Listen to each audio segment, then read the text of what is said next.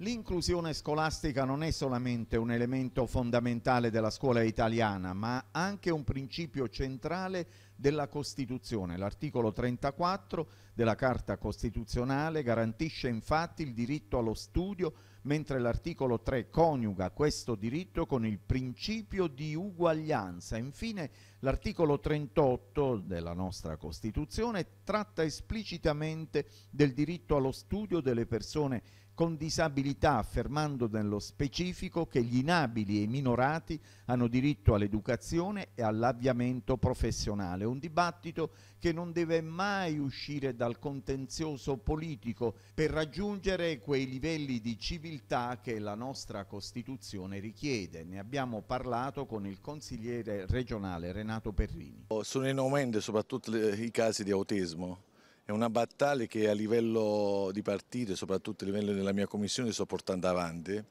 perché è una situazione che non lo so cosa sta succedendo, ma è il forte aumento dei casi di autismo, come anche altre disabilità. Ci abbiamo un problema serio uh, in provincia d'Italia, ma anche in Puglia, e anzi faccio le auguri a chi si candida alle europee di prendere a cuore anche a livello europeo perché c'è bisogno di risorse e di cambiare il sistema sanitario, perché di tante cose si sta parlando durante questa campagna elettorale, ma non si stanno parlando di temi come la sanità. Bisognerebbe parlare ancora di più di inclusività. Ho presentato tanti emendamenti su questa situazione qua, abbiamo fatto proposte di legge.